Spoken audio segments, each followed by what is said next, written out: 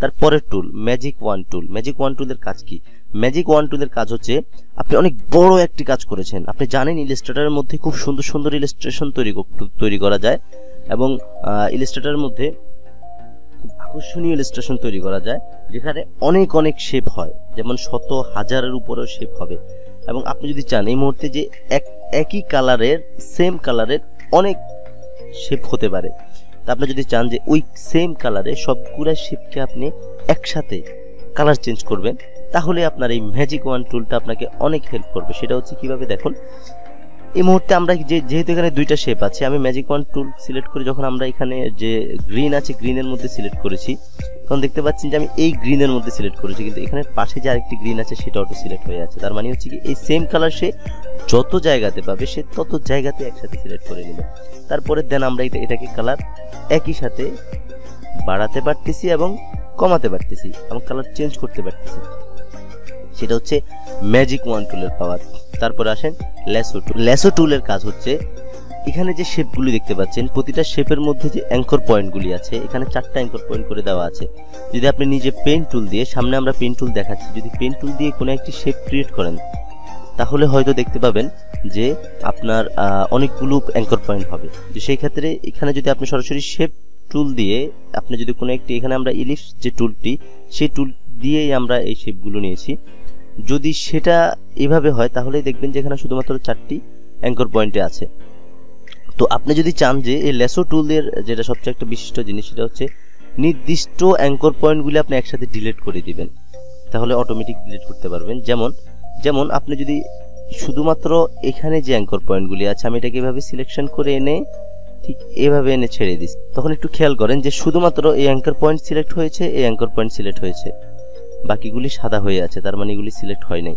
আপনি যদি কিবোর্ড থেকে ডিলেট প্রেস করেন, তখন দেখবেন যে ওই অ্যাঙ্কর পয়েন্টগুলোর আওতায় আপনার পুরোটা ডিলেট হয়ে গেছে। কন্ট্রোল জেড দিয়ে ব্যাকে আসলাম।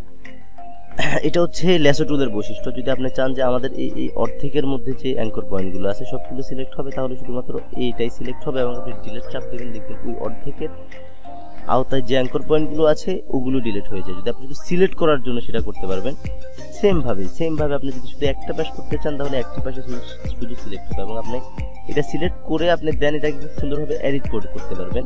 একসাথে এইভাবে এডিট করতে পারবেন, যেটা আপনার কাজের ক্ষেত্রে অনেক সহজ হবে। এভাবে আপনি শুধুমাত্র এই পাশটা সিলেক্ট করবেন হ্যাঁ?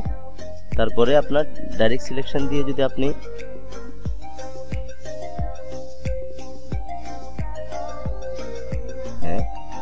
দেখতে পাচ্ছেন?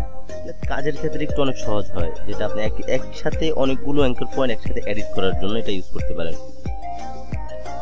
আচ্ছা তাহলে আসেন আমাদের নেক্সট যে আমাদের গ্রুপ এখানে আপনি যদি একটু জুম করে দেখতে পাবেন, সেটা হচ্ছে, এখানে চারটা টুল কিন্তু একটা গ্রুপ অনেকটা। সেটা হচ্ছে এটাকে সিলেকশন গ্রুপ বলা হয়। তারপরে হচ্ছে আমাদের এখানে যে আরেকটা গ্রুপ আছে হ্যাঁ এই গ্রুপটা সম্পর্কে আমরা একটু দেখব। এই গ্রুপে হচ্ছে প্রথমে আছে পেন টুল পেন টুলের ভিতরে অবজেক্ট দেখতে পাচ্ছেন। পেন টুলে কি করা হয়?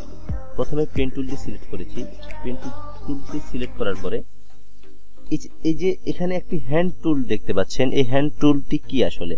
এটা হচ্ছে আপনি যখন কিবোর্ড থেকে যে আপনার বড় একটা বাটন আছে স্পেস বার ওই স্পেস বার ক্লিক করবেন, তখন দেখবেন যে হ্যান্ড টুলটি আসবে। ইলাস্ট্রেটরে ওই স্পেস বার ক্লিক করে আপনি মাউস পয়েন্টার ধরে আপনি এটাকে এদিক সেদিক মুভ করতে পারবেন। খুব সুন্দরভাবে। তো যাই হোক, তারপরে আসেন, আমরা পেন টুল দিয়ে আমরা দেখব পেন টুল কীভাবে কাজ করে। আপনার পেন টুল দিয়ে যখন এখানে একটা সিলেক্ট করবেন সিলেক্ট করার পরে আপনি দেখেন এই যে একটা, এটা একটা অ্যাঙ্কর পয়েন্ট বসছে।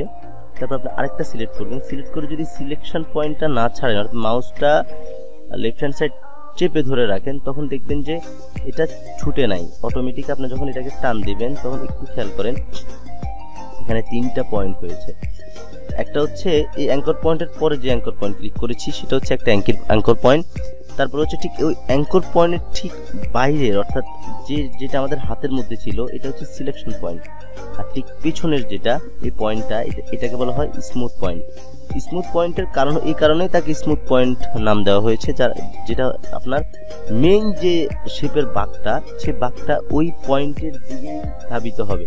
যার কারণে এটাকে স্মুথ পয়েন্ট বলা হয়। এছাড়া আপনি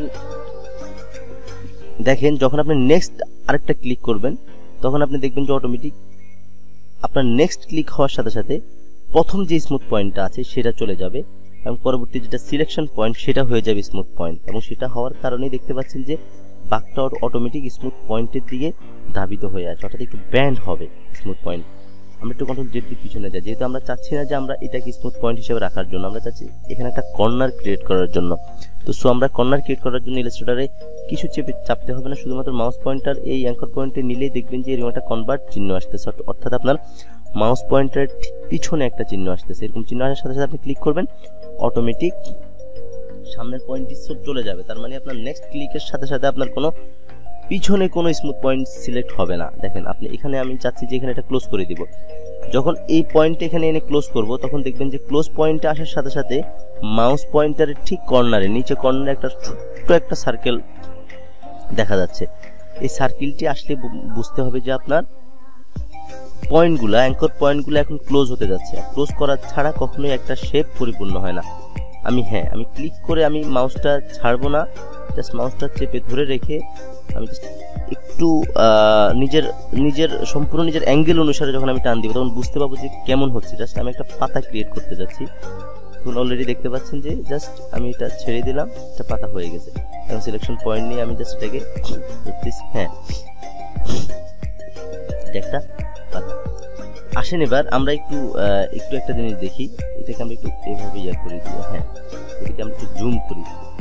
ইলাস্ট্রেটারে জুম করার জন্য কিছু সুন্দর সুন্দর সিস্টেম আছে। সেটা হচ্ছে টুলস বারের মাধ্যমেও আপনি জুম করতে পারেন। তাই সেটা ছাড়াও আপনি যদি চান, আপনি কিবোর্ড থেকে আপনি কন্ট্রোল প্লাস স্পেস বার ধরে আপনি দেখবেন এরকম একটা প্লাস চিহ্ন আসছে। একটা ক্লিক করলে জুম হবে। কিন্তু আমি চাচ্ছি যে নির্দিষ্ট শুধু এই জায়গাটি জুম হবে।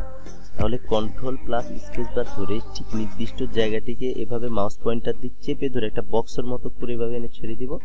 তখন দেখবেন যে শুধুমাত্র এই নির্দিষ্ট জায়গাটি আমাদের সিলেক্ট হয়েছে এবং জুম হয়েছে। আমি এটা একটু কালার চেঞ্জ করছি হ্যাঁ। একটু আসেন এখন। আপনি যখন এই পেন টুলে যাবেন, তখন দেখতে পাচ্ছেন এখানে শুধু দুটো অ্যাঙ্কর পয়েন্ট এখানে আমি একটু পেন টুলের যে বাকি গ্রুপগুলি আছে গ্রুপ সম্পর্কে একটু আলোচনা করছি। আমি চাচ্ছি যে আমি এখানে আরেকটা অ্যাঙ্কর পয়েন্ট ক্রিয়েট করব। তাহলে এখানে পেন টুলের মধ্যে যে অ্যাড অ্যাঙ্কর পয়েন্ট টুল সেখানে ক্লিক করবেন এবং ক্লিক করে ঠিক ঠিক আপনার যে লাইনটি আছে, এই লাইনের মধ্যেই আপনার ক্লিকতে হতে হবে। তখন দেখবেন যে এখানে আরেকটি অ্যাঙ্কর পয়েন্ট অলরেডি সিলেকশন হয়ে গেছে। তারপরে আসেন, এটা সিলেকশন হওয়ার পর আপনার সরাসরি ওই যে ডাইরেক্ট সিলেকশন দিয়ে যে অ্যাঙ্কর পয়েন্ট এডিট করা যায়, আপনি এটাকে একটু বাড়াতে পারবেন। এই স্মুথ বারগুলি ধরে আপনি একটু এডিট করতে পারবেন আপনার ইচ্ছা মতো।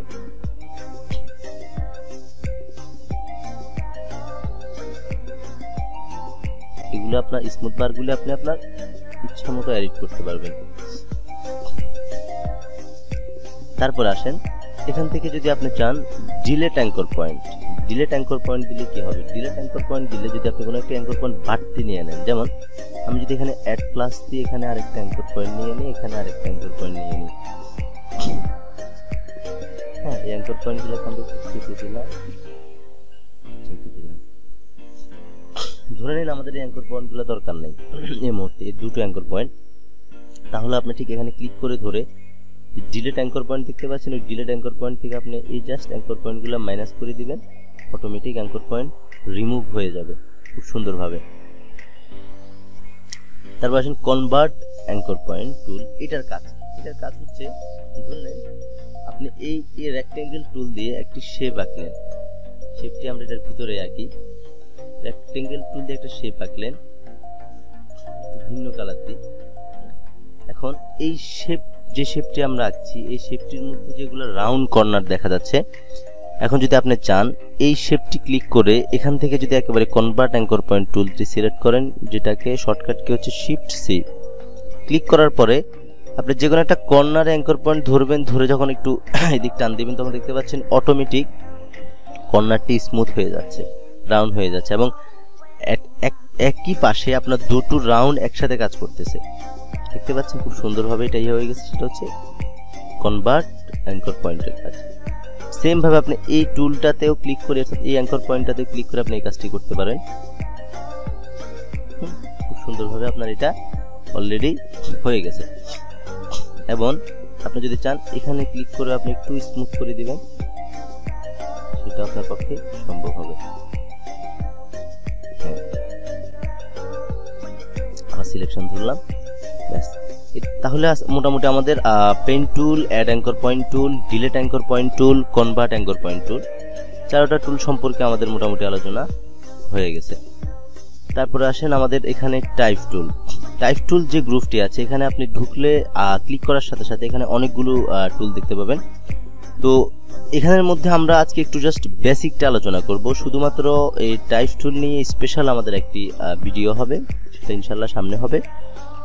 আজকে শুধুমাত্র এতটুকু দেখাচ্ছি, সেটা হচ্ছে আপনি টাইপ টুল সিলেক্ট করার পরে আপনাকে এখানে টাইপ টুলের যেই প্লেটটি আছে, অর্থাৎ যেখান থেকে আপনি ফন্ট চেঞ্জ করবেন ফন্টকে একটু বোল্ড করবেন রেগুলার করবেন, তারপরে ডান দিক থেকে লিখবেন না, বাম দিক থেকে লিখবেন, এই জিনিসগুলো আপনাকে সিলেক্ট করার জন্য একটু আরেকটা জায়গায় হেল্প নিতে হবে। এতক্ষণ পর্যন্ত আমরা যে টুলগুলির কাজ করতেছিলাম, এই টুলগুলি শুধুমাত্র নিজেরাই কাজ করতেছে, সর্বোচ্চ আমি কালার চেঞ্জ করেছি, কিন্তু এখন টাইপ টুল ক্ষেত্রে আপনি সেই ক্ষেত্রে আপনাকে একটু আরেকটা আরেকটা প্লেটের হেল্প নিতে হবে। সেটা হচ্ছে কি দেখেন, ধরুন আমি এখানে টাইপ টুলটি সিলেক্ট করলাম। সিলেক্ট করার পরে দেখতে পাচ্ছেন একটা লেখার একটা জাস্ট আমাদের একটা লাঠির মতো একটা জিনিস উঠানামা করতেছে। তো এখান থেকে আমাদের লেখাটা অ্যাকচুয়ালি শুরু হবে। আপনি দেখেন, এখানে যে আমাদের অপশন বারটি আছে, আমি আপনাদেরকে বলেছিলাম যে মিনু বার নিচে হচ্ছে নিচে হচ্ছে আমাদের অপশন বার এই অপশন বারের মধ্যে দেখতে পাচ্ছেন যে এই হচ্ছে আমাদের ক্যারেক্টার এখান থেকে আমরা ফন্ট চেঞ্জ করতে পারব। চাইলে এখানে ক্লিক করে আপনি যে কোনো ফন্ট দিতে পারবেন। তারপরে এখানে ক্লিক করে আপনার ফন্টটি কতটুকু মোটা হবে? এখানে রেগুলার আছে বোল্ড আছে ব্ল্যাক আছে। ব্ল্যাক হচ্ছে একেবারে যেটা মোটা হবে। সুস্বাস্থ্যবান, সেটাই ব্ল্যাক হবে। আমরা বোল্ড সিলেক্ট করলাম এবং সাইজ কতটুকু হবে সেটা আপনি নির্ধারণ করতে পারেন। কোন পাশ থেকে লেখা হবে? যেটাকে অ্যালাইন লেফট আছে অ্যালাইন সেন্টার আছে অ্যালাইন রাইট আছে। যেই পাশ থেকে আপনি লেখাটা দরকার হবে, তখন সেই পাশে ক্লিক করে আপনি লেখাটা শুরু করবেন। আমি এখন এখান থেকে লিখলাম বি এ এন বাংলাদেশ লিখলাম। আমার লেখার সাইজ অনুসারে ফোনটি অনেক বড় ছিল। আমাদের জুম অনুসারে এই কারণে হয়তো এমনটি আসছে। আমরা যদি একটু ব্যাগে চলে যাই, অর্থাৎ আমরা এটা আমাদের অনেকটা জুম হয়ে আছে। আমরা যদি একটু পিছনে চলে যাই, তাহলে হয়তো আমাদের আর এটা মনে হবে না। তো, পিছনে যাওয়ার জন্য আপনি এখান থেকে সরাসরি কিবোর্ড থেকে কন্ট্রোল প্লাস জিরো চাপ দিতে পারেন। অটোমেটিক দেখবেন আপনার, আপনি আমাদের পুনরায় চলে আসছেন। যেমন আপনি, তখন আমরা যখন জুমে ছিলাম, তখন আমরা এই অবস্থায় ছিলাম। যা একটু খেয়াল করেন, ঠিক নিচে। অর্থাৎ আপনার ইলেস্ট্রেটারের ঠিক নিচে একটা স্ট্যাটাস বার আছে। এখানে দেখতে পাচ্ছেন আমরা কত পার্সেন্ট জুমে আছি। এখানে অলরেডি শো করতেছে যেটা আমরা এখানে দেখা যাচ্ছে সাতাইশশো পঁচানব্বই পার্সেন্ট জমে আছি। যখন আমরা এখান থেকে কন্ট্রোল জিরো চাপ দিয়েছি, তখন আমরা অলরেডি পাঁচশো ছিষট্টি পার্সেন্ট জমে চলে আসছি। ঠিক আছে? এই জিনিসটা আপনি এখান থেকে দেখতে পাবেন। আচ্ছা। তারপরে এটার পাশের অপশনটা হচ্ছে এখানে দুইটা পেজ আছে। এটা বোঝাচ্ছে যে আপনি চাইলে এখন এই পেজে চলে আসছেন, আবার এখানে ক্লিক করছেন, এই পেজে চলে আসছেন। দুটো পেজ আছে টোটাল আমাদের যে ওয়ার্ক পেজ এটাতে। হ্যাঁ দুটো আর্ট বোর্ড আছে। পেজ মানে দুটো আর্ট বোর্ড আছে। আচ্ছা একটু দেখেন, এটা হচ্ছে আমরা মাত্র লিখলাম এটা। দেখেন সিলেকশন টুল দিয়ে নিচে নিয়ে এটা হচ্ছে আমাদের জাস্ট একটা ফন্ট তো আমরা যদি এখানে চাইতাম যে আমরা শুধু প্রথম অক্ষরটা বড় হাত দিব, তাহলে যদি আমরা আবার একটু এখান থেকে টাইপ টুল সিলেক্ট করি সিলেক্ট করে আমরা এখানে ক্লিক করব ক্লিক করে যখন আমরা লেখাটা স্টার্ট করব, তখন কিবোর্ডে শিফট চেপে দেন প্রথম অক্ষরটা চাপ দিব। তখন দেখবেন যে অবশ্যই অবশ্যই মনে রাখবেন, আপনার ক্যাপস লক কিন্তু অফ থাকতে হবে। তখন আপনি লেখাটা সুন্দর করে লিখতে পারবেন। শিফট চেপে যেই টেক্সটটি চাপ প্রেস করবেন শুধুমাত্র ওই টেক্সটটি কি হবে? বড় হবে। তারপর দেখেন। দেখেন আমাদের প্রথম অক্ষরটা বড় হয়েছে। এবং সরাসরি এভাবে টেক্সটকে আপনি ধরে এভাবে কালার চেঞ্জ করতে পারেন। যে কোনো কালার দিতে পারেন, এখান থেকেও যে কোনো কালার এভাবে অ্যাপ্লাই করতে পারেন। এবং এটাকে সিলেকশন রেখে আপনি টেক্সটের সাইজ বড় ছোট করতে পারেন। যেমন হচ্ছে, আপনি এখান থেকে এটাকে যদি আরও ছোট করতে চান, ছোট হয়ে যাবে।